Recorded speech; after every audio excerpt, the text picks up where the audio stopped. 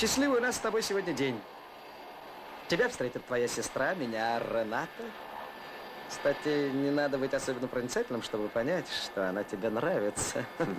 Очень. Да, я счастлив, что Рената не только сотрудница нашей газеты, но и моя будущая жена. Как? Как твоя будущая? Да, и были некоторые обстоятельства, которые мешали. Но теперь я получил квартиру, у меня польский фиат, в общем, все в порядке.